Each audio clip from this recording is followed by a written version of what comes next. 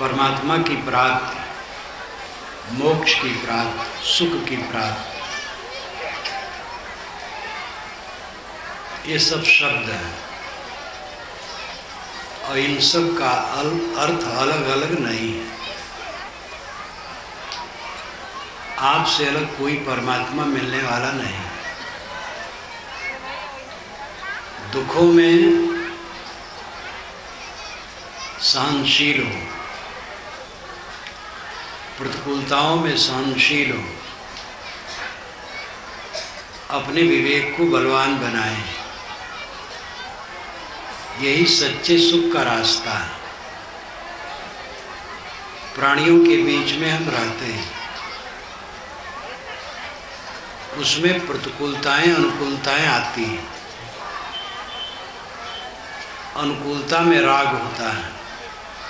प्रतिकूलता में द्वेष होता है। ये राग द्वेष दोनों हमें बांधते हैं। जो आज मित्र है, उदासीन हो सकता है, और वैरी भी हो सकता है। जो वैरी है, उदासीन हो सकता है। वैर न करे, और फिर मित्र भी हो सकता है। मनुष्य का मन क्षण क्षण बदलता है। तन सबका बदलता है। चीज़ें बदलती हैं।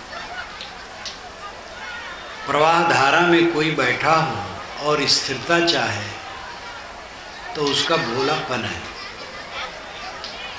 हम प्रवाह धारा में बैठे हैं। जिनके प्रति हमारी ममता है, वो सब क्षण क्षण बदलते हैं। ऐसी बदलाहट में मनुष्य के चित्त में द्वंद आता है। वही दुख है। वही बंधन है। इन बदलावों में मन अपना स्थिर रहे। द्वंद्व ग्रसित न हो। द्वंद्व से ऊपर रहे। यही सुख की प्राप्ति है, परमात्मा की प्राप्ति है, मोक्ष की प्राप्ति है।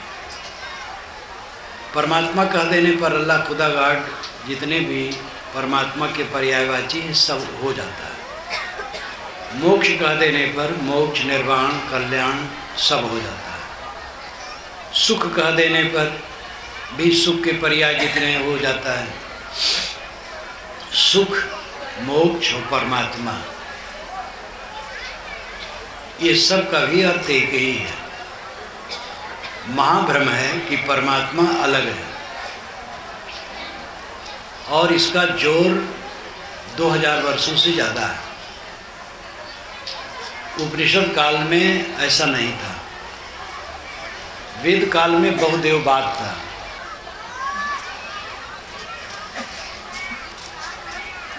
समस्त प्राकृतिक देवी देवताओं की वे उपासना करते थे। धीरे धीरे वे उससे उबे। जिन देवताओं की वो प्रार्थना करते हैं, वे देवता उन्हें कुछ दे नहीं पाते।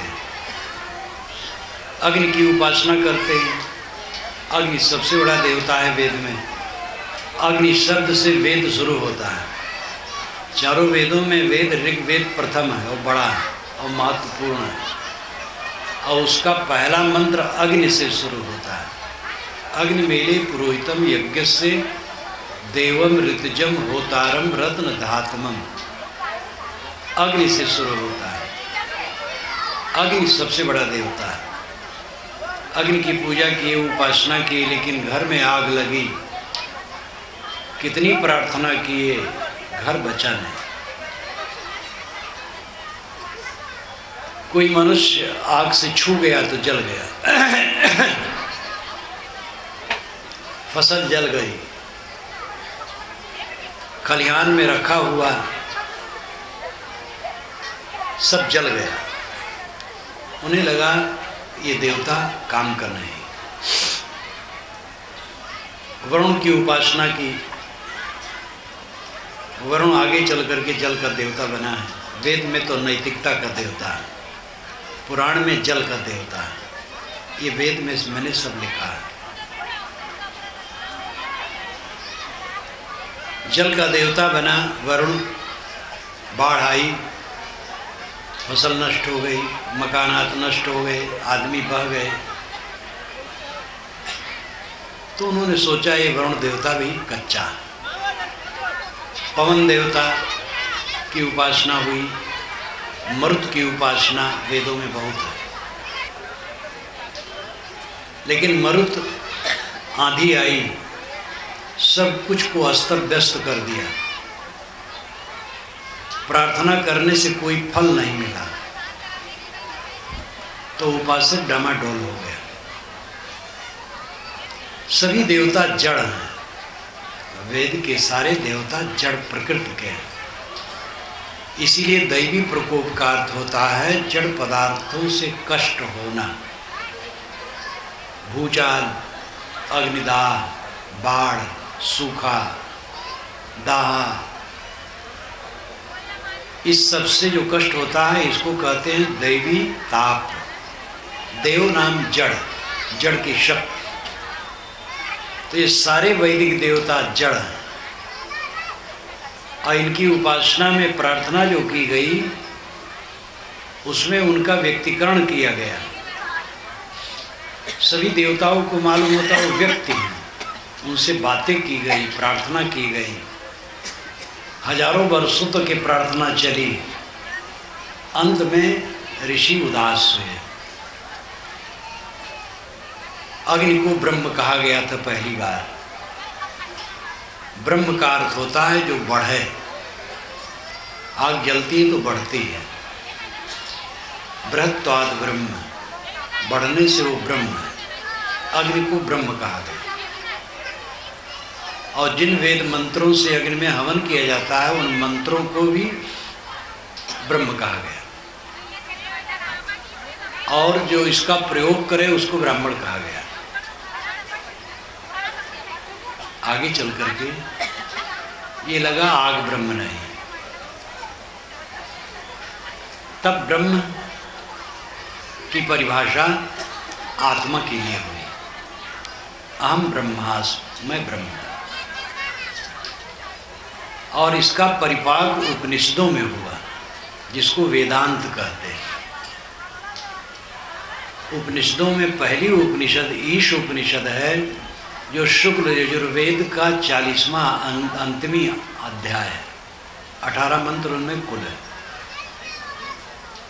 बाकी उपनिषदें ब्राह्मण और आरण्यक के हर ब्राह्मण और आरण्यक वेद के होते हैं। इसलिए इनको वेदांत कहा जाता है उपनिषदों को, जो दस बारह हैं, ग्यारह बारह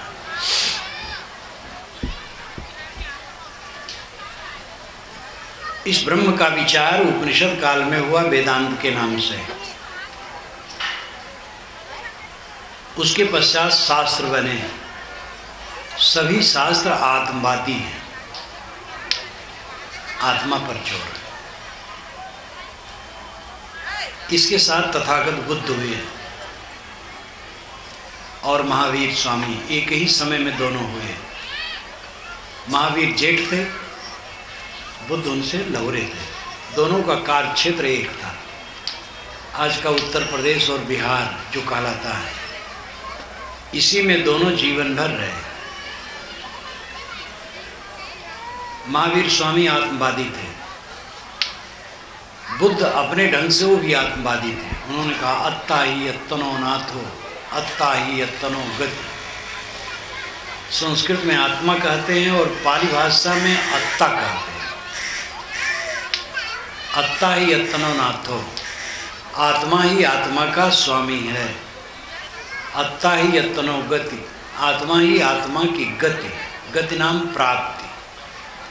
गति कहते हैं गमन को। प्राप्ति को, मोक्ष को, कल्याण को, आत्मा ही आत्मा की गति, प्राप्तव्य।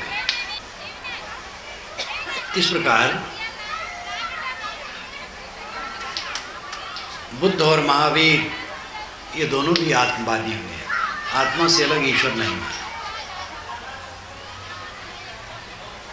आत्मचिंतन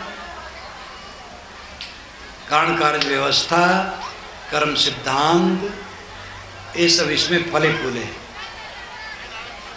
आगे चल करके नारायणी उपासना चली। यादवों में पहली बार। ये बुद्ध के समकालिक या पहले या पीछे है।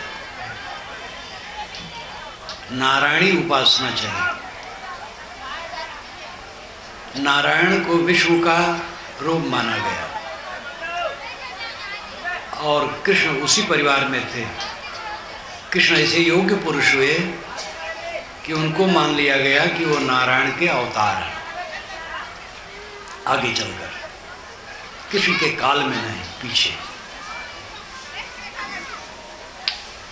और और आगे चल करके अवतार नहीं, किंतु कृष्ण ही संपूर्ण नारायण को छोड़ दिया गया। यहाँ से सगुण उपासना और ईश्वर उपासना बलवान हुई। और ईसा के लगभग वाल्मीकि रामायण में श्री राम चारों भाइयों को विश्व का अंशावतार कहा गया। उनकी पूजा नहीं हुई, उपासना नहीं हुई। ईसा के हज़ार वर्ष बाद श्री राम को पूर्ण रूप से परब्रह्म माना गया। इस प्रकार 2000 वर्षों में ईश्वर उपासना ज़ोर पर हुई। परोक्ष ईश्वर, अलग ईश्वर। आत्मचिंतन घट गया। लेकिन भारतीय परंपरा के मूल शास्त्र जो वेदांत हैं, सांख्य है, छह शास्त्र हैं, ये आत्मवादी है। कबीर साहब का अपना चिंतन आज से 600 वर्ष पूर्व हुआ 500-600 वर्ष पूर्व। उन्होंने सगुण उपासना के शब्दों को लिया, नारायण, हरि, राम, रघुराई तक लिया। साज समाधि उन्मुन जागे, साज मिले रघुराई। ये उनके विचारों की व्यापकता है। शब्दों को काट देने से अपने विचार प्रेषित करने में सरलता कम होती है। शब्दों को लेकर के अपने विचार प्रेषित करने में सरलता होती है। इसलिए विवेकवानों ने हर समय शब्दों को आदर दिया। कबीर साहब के ज़माने में राम, हरि, ये सब शब्द बहुत व्याप्त थे। इन शब्दों को उन्होंने लिया। इसलिए कुछ लोग मान लेते हैं कि कभी परोक्ष ईश्वर को कह रहे हैं। परंतु उनकी वाणियों पर, पूर्वा पर विचार करने पर साफ़ हो जाता है कि उनका हरि, उनका राम परोक्ष नहीं है, अपरोक्ष। अलग नहीं है, स्वयं आत्मा। तो कबीर साहब का विचार अपने ढंग से सांख्य, वेदांत इत्यादि है। जो भारतीय परंपरा के मूल में है और कहना चाहिए सत्य के मूल में है। आप विचार कीजिए, ईश्वर कैसे मिलता है? लोग कहते हैं, ईश्वर मन वाणी से परे है, इंद्रियों से परे है। आपसे भी परे और मन वाणी से भी परे तो कैसे मिलेगा? वो मन में नहीं आता है, वाणी में नहीं आता है, इंद्रियों में नहीं आता है। अब आपको पाने के साधन यही सब हैं तो कैसे मिलेगा? अब आपसे भी परे है। लेकिन मन वाणी इंद्रियों से परे है, और आत्मा ही है तो तथ्य वो आप ही हैं, जो मन वाणी इंद्रियों से परे हैं। मन वाणी इंद्रियों की प्रेरिता है। उनके द्वारा प्रेरित नहीं है, किंतु आप ही मन वाणी इंद्रियों को प्रेरित करते हैं। इसलिए आत्मा ही परमात्मा है। परमात्मा बाहर नहीं। सुख। इंद्रियों की जो अनुकूलता है, सुख लगता है। लेकिन उसके बाद दुख आता है। इंद्रियों की अनुकूलता में जो सुख लगता है, उसी में मोह बनता है। और मोह ही आगे चल करके रुलाता है। चीज़ें सब बिखरती हैं। जवानी ढीली हो जाती है, इंद्रियाँ शिथिल हो जाते हैं, अनुकूल लोग प्रतिकूल हो जाते हैं और वासना झटकती है। वही वासना बलवान होकर के जन्मांतर में भी खींचती है। तो जो सांसारिक पदार्थों में सुख की कल्पना है, ये दुख का कारण बनता है। सुख और परमात्मा की परिभाषा ठीक से समझ लेनी चाहिए। और मोक्ष। मोक्ष है, मोह का क्षय बहु बंधन से बांधिया एक बिचारा जीव। प्रतिदिन कोई एक एक रस्सी अपने शरीर में बांधे तो साल भर में तीन सौ पैंसठ रस्सियों से बध जाएगा और जीवन में हज़ारों रस्सियों से बध जाएगा आदमी यही करता है। एक एक बंधन रोज बनाता है। तमाकू खाते थे, कुछ दिन में गुड़ाखू भी घिसने लगे। बीड़ी वाला मिला तो बीड़ी भी पीने लगे। मित्र यहाँ गए तो कहा उसने एक गिलास शराब लो। आज के युग में शराब नहीं पीते हो कौन आदमी? हो शराब ले ली फिर आदत पड़ गई, शराब लेने लगे। एक एक बंधन आदमी रोज बनाता बिला वजह। दाल भात रोटी सब्ज़ी खाया। तब उठा तब क्या खाया? तमाकू सुपारी, पान। दाल भात से पेट नहीं भरा। ये चमकते दांत को गंदी गंदी चीज़ें खा करके दांत को काली पीली कर, काली पीली कर डाले क्या कमाई की है? क्या फ़ायदा? हो विवाह किए पत्नी में मोह किए पत्नी ने पति से मोह किया बच्चा आया तो उसमें मोह हुआ बच्चा बड़ा हुआ उसकी शादी हुई बहू में मोह हुआ उसके बच्चे आए तो पोते में मोह हुआ और उसके दाद दा, समधि लमधी सब बढ़े फिर मोह बढ़ता चला गया चारों तरफ़। जहाँ जहाँ हम जुड़े, वहाँ वहाँ मोह बनाते चले गए। और ये सब अपने गले की फांसी होती चली गई। जीवन भर आदमी क्या करता है? इंद्रियों की गलतियों से, मन की गलतियों से, संबंधों की गलतियों से बंधन बनाता चला जाता है। और ये बंधन जीव को तकलीफ़ देते हैं। इन बंधनों को काटना मोक्ष का रास्ता है। पदार्थों के सुख से हट करके आत्मा के सुख की तरफ़ लौटना सच्चे सुख का रास्ता है। पदार्थ जनित सुख आत्म जनित सुख, ये दो सुख है। पदार्थ जनित सुख, दुख लाते हैं। आत्मजनित सुख, अनंत सुख है। क्योंकि आत्मा अनंत है, उसका अंत नहीं खत्म नहीं होता है, और पदार्थ खत्म होते हैं, पद खत्म होता है। बड़े बड़े पोस्ट पर रहने वाले, जब रिटायरमेंट उनका होता है तो वे कौआते हैं। कौआना बड़बड़ाना, सपने में बड़बड़ाना कौआना कहा था नींद खुलते ही उनके दरवाजे पर लोग पहुँच जाते थे। मिलते नहीं थे वो किसी से, लेकिन लाइन लाइन लोग लगाते थे। जब आठ, दस बजे तक बैठते थे मिलने के लिए तो भीड़ लगी रहती थी। अब रिटायरमेंट हो गया, कोई मिलने नहीं आता। एक कमिश्नर रिटायरमेंट मिलने आए। उनके लड़के भी थे। बहुत निकट के हैं। कहे, महाराज, पिताजी अब बोर हो रहे हैं। हम के भाई कमिश्नर थे। और सुबह से भीड़ लगती थी उनके दरवाजे पर। तो कमिश्नर साहब ने कहा, साहब, क्या करूँ? चार घंटा तो पढ़ता हूँ, अध्ययन करता हूँ। कितना पढ़ूं? तो बोर होना पड़ता है। पदार्थ स्थिर नहीं। पदार्थ जनित सुख क्षणिक। आत्मजनित सुख अनंत है। सुख, मोक्ष और परमात्मा। ये तीनों तीन नहीं है, एक है, वो आप है। अपने को पहचानो। अपने को एकदम लोग भूल गए।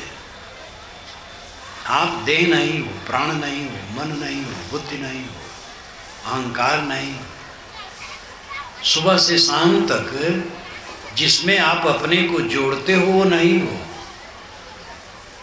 दर्पण में देखे आँखें, दंत पंक्तियाँ कपूर टुड्डी, बरौनी भौं सीना, गला, हाथ, ये आप नहीं। अभ्यास इसी का यही सब है। मकान, मेरा मकान। कहाँ मेरा मकान? इसी मकान में से लाश निकलना। ये सब साथी कहाँ साथी जो मरे, किसी को ले नहीं गए, कोई चीज़ नहीं ले अंबानी ने मोबाइल का कितना प्रचार किया। जाते समय एक मोबाइल नहीं ले जा सका। हम लोग भी, जो कुछ भी है, क्या साथ है? सारा संबंध नकली है। अपने आत्मा को पहचानो। जब आप गाढ़ी नींद में जाते हो तो आपको कुछ ख्याल नहीं रहता परम सुख में रहते हो। नींद में आते हो तो दुख शुरू होता है। स्वप्न में आते हो तो दुख शुरू होता है। और जाग जाते हो तो दुख बढ़ जाता है। ऐसा जीवन बनाओ। गाढ़ी नींद का सुख जागते अवस्था में रहे। अवस्था जागते अवस्था में और गाढ़ी नींद में फ़र्क इतना है कि गाढ़ी नींद में कुछ ख्याल नहीं रहता है। और जागृत अवस्था में ज्ञानी देखता है, सुनता है, खाता है, पीता है, लेकिन कोई तकलीफ़ नहीं रहती। सुसुप्त के समान सुख रहता है। क्योंकि वो सच्चे अर्थ में सुसुप्त है। सुसुप्त का अर्थ है अपने को पाना। स्व अपीत सुसुप्ति। सुसुप्ति का अर्थ स्व और अपीत। ये दो पद मिलकर के सुसुप्ति शब्द बनता है। स्व अपीत। स्व खुद अपीत पाना। सुसुप्ति।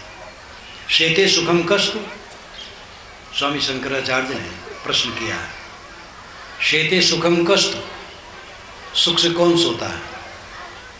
तो उत्तर दिया है समाधि निष्ठा जो समाधि में निष्ठ है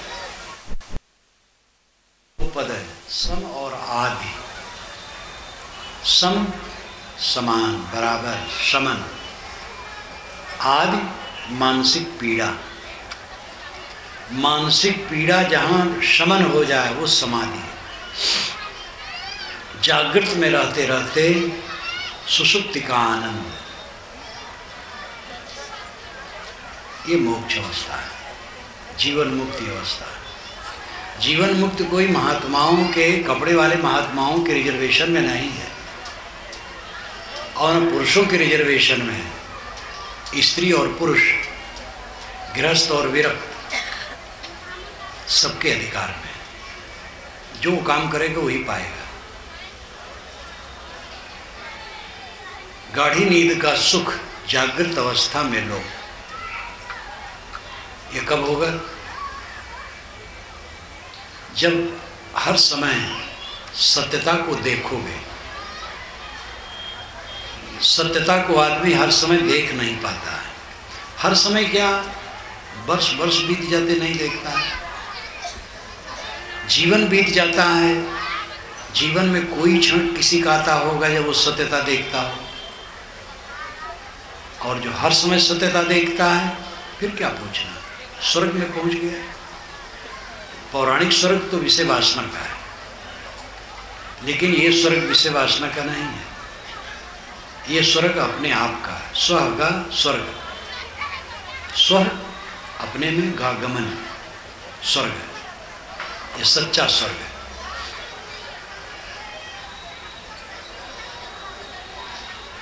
चित्त की शुद्ध से अवस्था आएगी।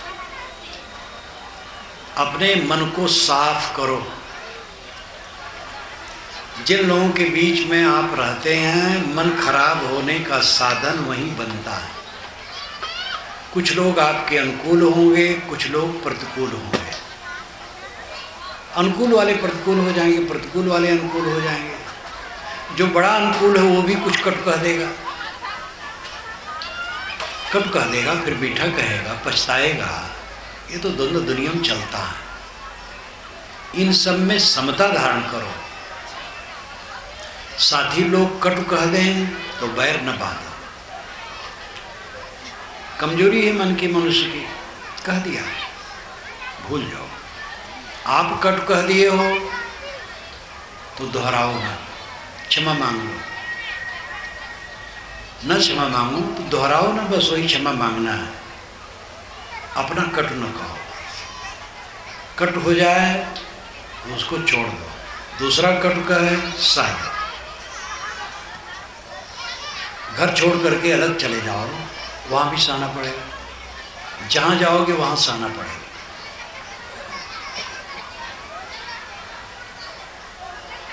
फजीती का उदाहरण और बेवकूफ़ का उदाहरण विवेक प्रकाश टीका में मैंने लिखा है। कहानियाँ काल्पनिक हुआ करती हैं, लेकिन बातों को समझाने के लिए बहुत मार्मिक होती हैं। एक दंपति थे पद पत्नी, पुरुष का नाम था बेवकूफ़ और पत्नी का नाम था फजीती। दोनों में झगड़ा हुआ, फजीती चली गई रूट करके। बेवकूफ़ खोजने चला। उसने पूछा, इधर फजीती गई है? लोगों ने कहा फजीती कौन? कहे, मेरी पत्नी। कहे, तेरा क्या नाम? कहे, बेवकूफ़। कहे तो बेवकूफ़ जहाँ रहेगा वहीं फजीती मिलेगी। हमारी बेवकूफ़ी नहीं गई है, हर जगह फजीती मिलेगी। अपनी बेवकूफ़ी ख़त्म करना। जहाँ रह रहे हैं, वहाँ छोड़ दे, अलग चले जाए, वहाँ भी हमारी बेवकूफ़ी रहेगी, तकलीफ़ देगी। इसलिए बहुत स्थान बदलने की ज़रूरत नहीं। काम करने की ज़रूरत सहना सीखो।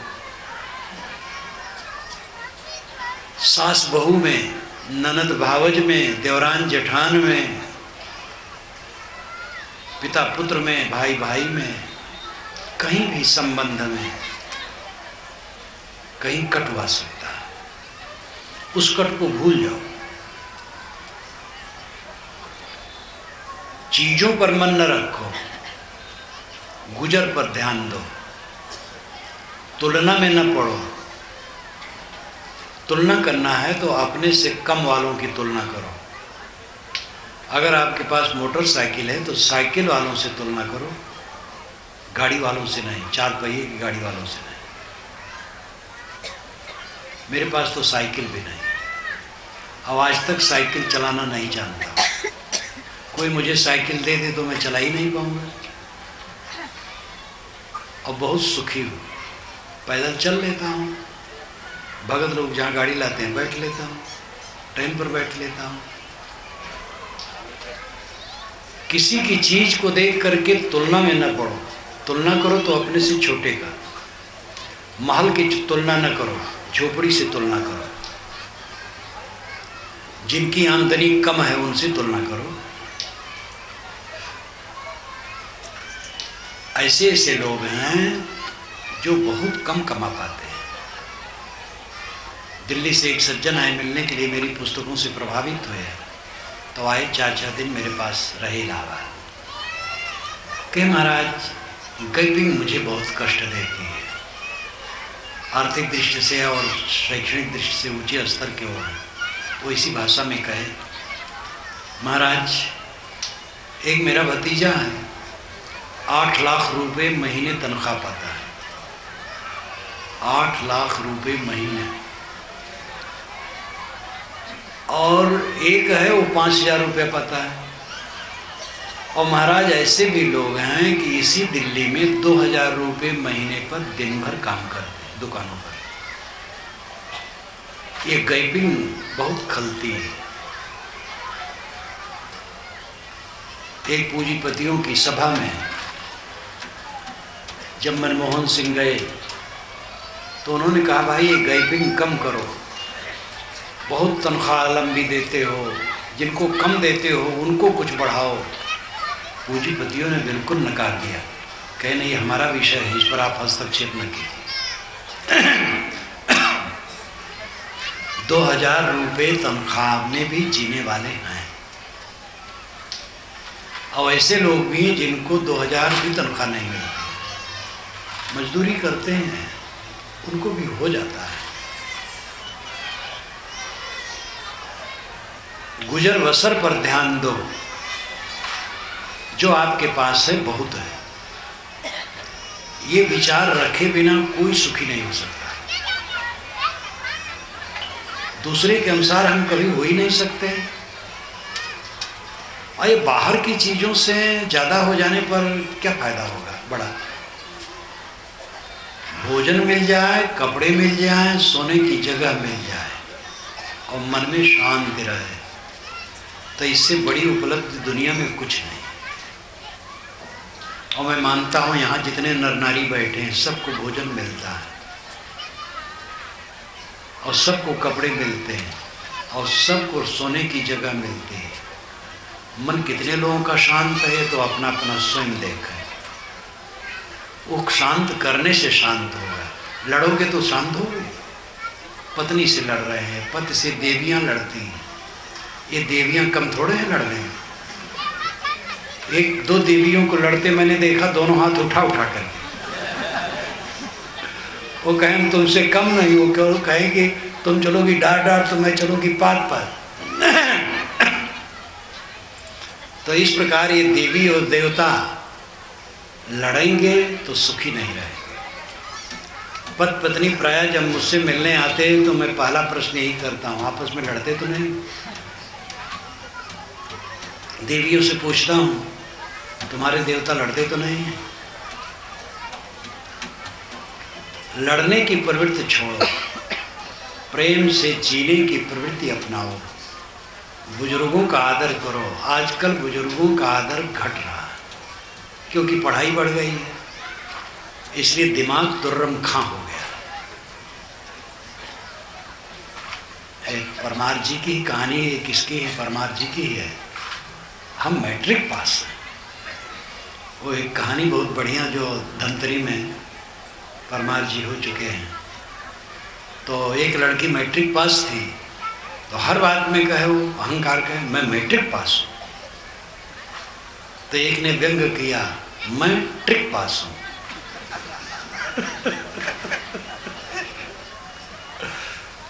पढ़ाई लिखाई बढ़ गई, उसकी गर्मी बढ़ गई है। और परिवार टूट रहा है। देहात में अभी भी काफ़ी कुशल है। शहर में काफ़ी टूट रहा है।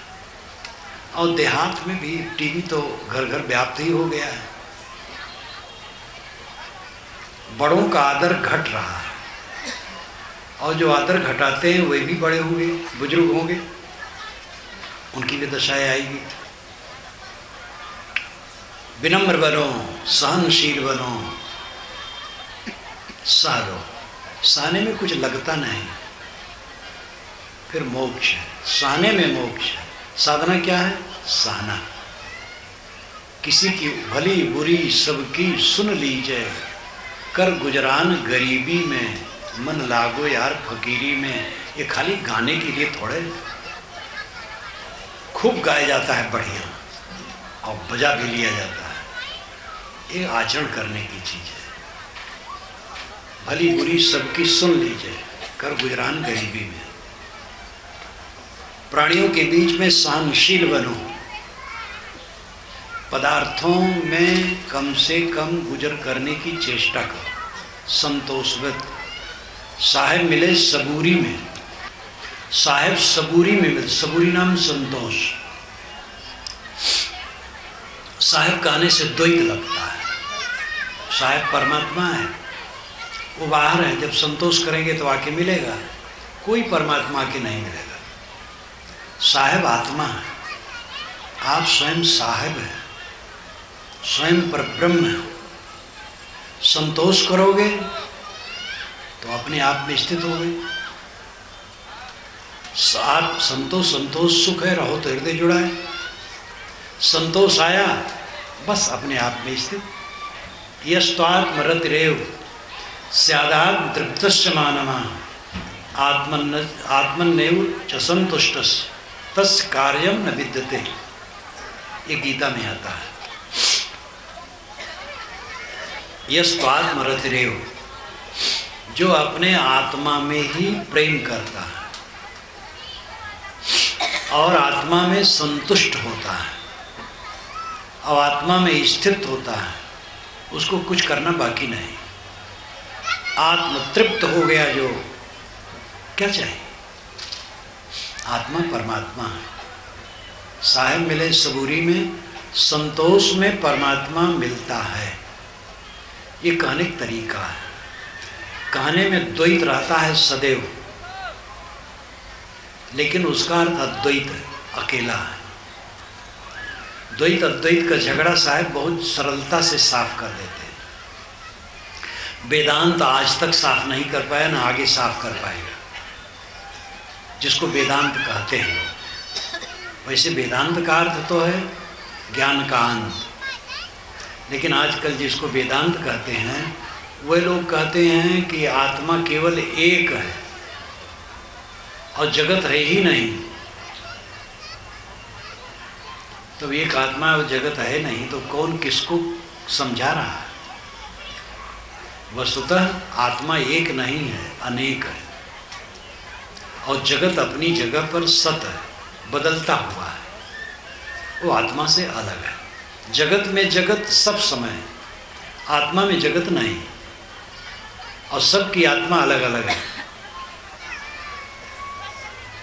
इसकी घोषणा कपिल जी ने हज़ारों वर्ष पूर्व की है।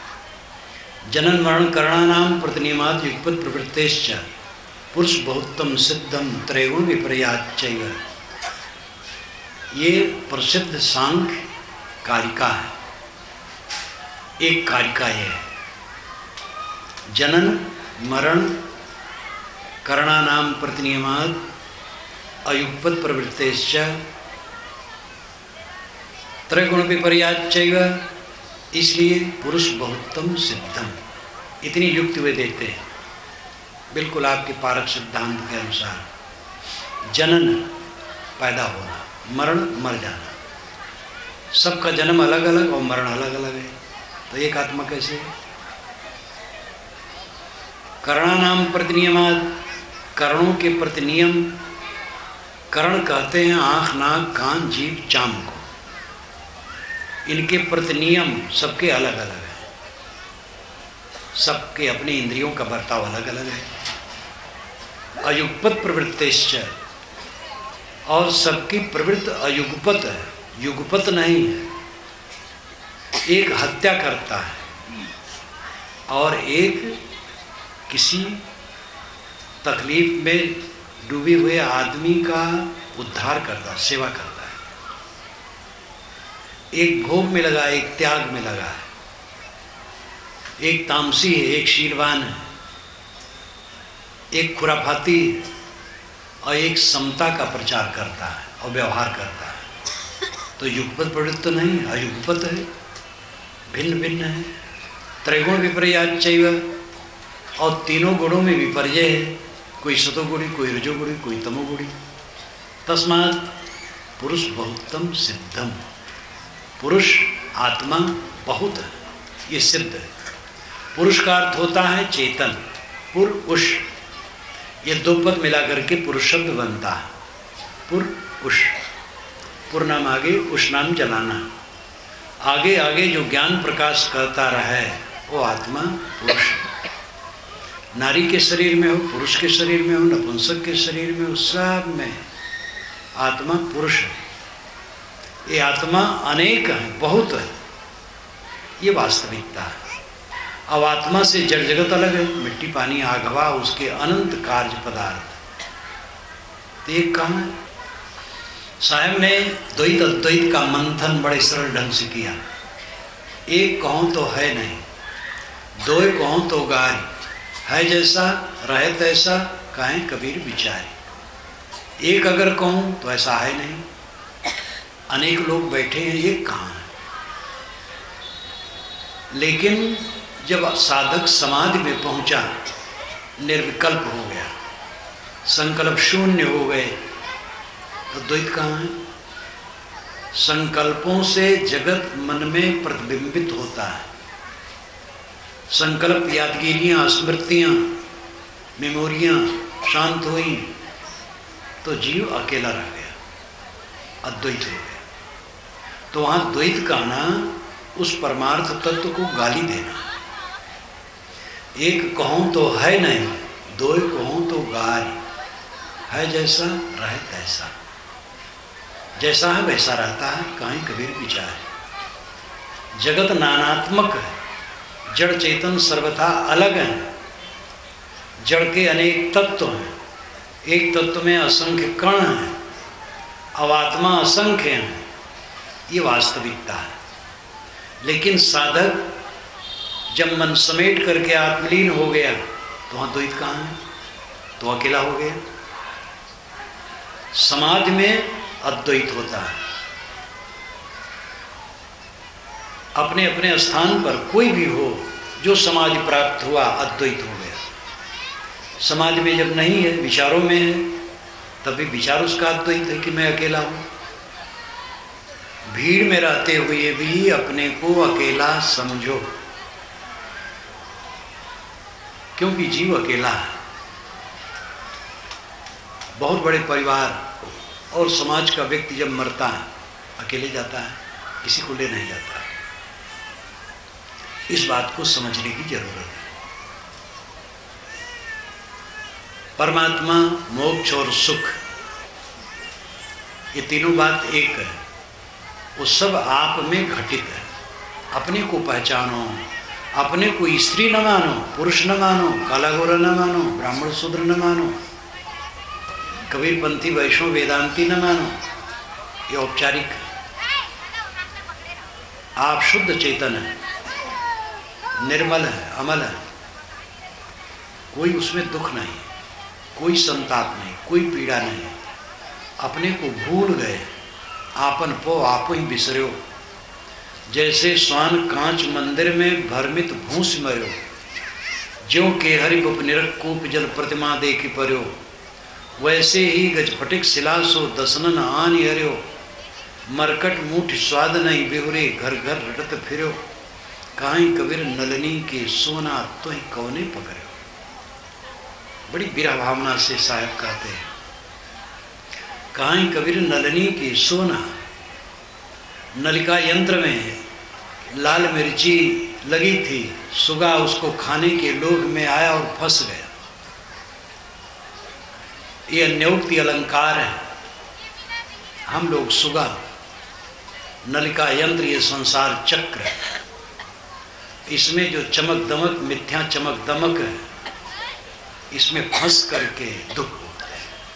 कहाँ कबीर नलनी की सुवना तो ही कौने पकड़े? बड़ी कवा से साहब कहते अनलिका का सुग्गा तेव किसने पकड़ा है? तू ही पकड़ा क्या करें महाराज, छूटता नहीं है। अरे छूटेगा कैसे? नहीं तुम छोड़ दो, छूट जाए तमाकू खा रहे हैं। क्या करें महाराज, छूटता नहीं। कैसे नहीं छूटेगा? प्रतिज्ञा कर लो फेंक दो, फिर न खाओ। चार छह दिन मन टाए टाए करेगा। उसमें दृढ़ रहो, फिर छूट जाएगा। कायर कुचर बने रहोगे तो क्या छोड़ोगे एक दिन तो छोड़ना है।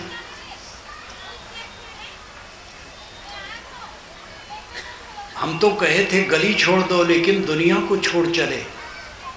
किसी कवि ने बड़ा सुंदर कहा। मैंने तो कही थी, गली छोड़ दो।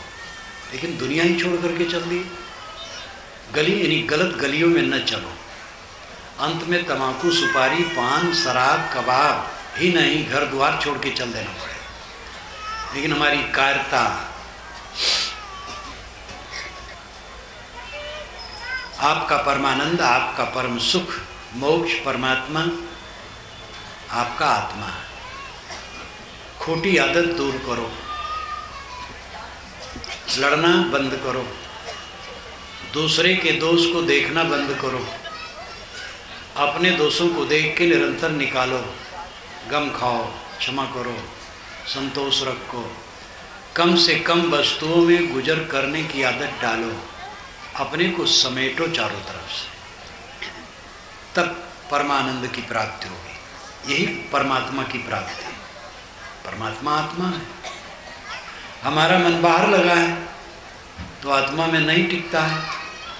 बाहर जब उदास होगा तो आत्मा में टिकेगा ये गणित की तरह है। गणित एक महाविज्ञान है, जिसमें पूरी दुनिया में दो राय नहीं है। लोग कहते धर्म और अध्यात्म तो मान्यता है। धर्म और अध्यात्म गणित है। धर्म है, संयम और शील। अध्यात्म है, अपने को सब तरफ़ से समेटकर आत्मलीन हो जाना। ये गणित की तरह है। संयम और शील। अपने पर जितना संयम करोगे, दूसरे के साथ उतना शील का बर्ताव करोगे। और अपना जितना लंपट रहोगे, उतना दूसरे को तकलीफ़ दोगे। ये गणित की तरह है। अध्यात्म है, अपनी तरफ़ लौट आना। अधिआत्म, अध्यात्म। ये दो पदों से अध्यात्म शब्द बना है। अधि आत्म अधिनाम, आधार। आत्मनाम, स्वयं। स्वयं ही जिसका आधार है, वही अध्यात्म है। जब परावलंबन छूट गया, बाहर से सुख पाने का ख्याल खत्म हो गया, अपने में परमानंद है। अपने में डूब गया। मनमस हुआ, फिर क्यों बोले? हीरा पायो, गांठ गठिया बार बार आपको क्यों खोले? हल्की थी तब चढ़ी तराजू, पीर पूर्व भया तब क्यों तोले? सुरत कलारी, भई मतवारी, मदवा पी गई, बिन तोले। हंसा पायो, मान सरोवर, ताल तलैया क्यों डोले? तेरा साहेब है घर भीतर, बाहर नैना क्यों खोले? काल कबीर सुनो भाई साधो, साहेब मिल गए तिलोल। अब इस सब में साहेब मिल गए तिलोल है तो लगेगा साहेब अलग है इसलिए शब्द पूरा समर्थ नहीं होते हैं तथ्य को बताने में। उसके लिए अनुभवी गुरु ही रास्ता बताता है। परोक्ष मान्यता के चक्कर में मत पड़ो। बाहर कहीं कोई भगवान नहीं मिलता। हल्ला बहुत है। भगवान के दर्शन, भगवान के दर्शन। दर्जनों गुरु आज हैं जो भगवान के दर्शन कराते हैं। और उनसे कहो, महाराज, आपको भगवान के दर्शन हुए तो क्रोध में भवक उठते हैं। क्योंकि दुनिया को बेवकूफ़ बनाना है। कोई दर्शन वर्शन नहीं होता है। आपका परमात्मा आत्मा है। अपने मन इंद्रियों को शुद्ध करो, साफ़ करो, अंतर्मुख करो चित्त में जितना संतोष आएगा, मन निर्मल निर्विकार होगा, उतना अपने आप में विश्राम मिलेगा। पूरा निर्विकार मन पूर्ण रूप से विश्राम पा जाता है। जितना मन हमारा विकारी रहेगा, उतना उद्वेगित रहेगा। और पूर्ण रूप से निर्विकारी हो गया, पूर्ण उद्वेग शून्य हो जाएगा। उद्वेग शून्य अवस्था मोक्ष की प्राप्ति। परमात्मा और निर्वाण की प्राप्ति है, ब्रह्म की प्राप्ति है, राम की प्राप्ति है। इन वास्तविकताओं पर ध्यान दो। शक्ति सबके पास है। अपनी शक्ति को याद करो और संभालो। जागो। जितने लोग सुन रहे हो, रोज अकेले में बैठना शुरू करो।